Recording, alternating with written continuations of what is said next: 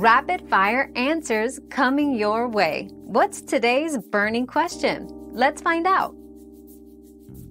To connect two controllers to your PS5, first ensure both controllers are charged.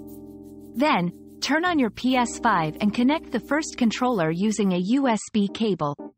Press the PS button to log into your account. For the second controller, repeat the process with another user account or as a guest.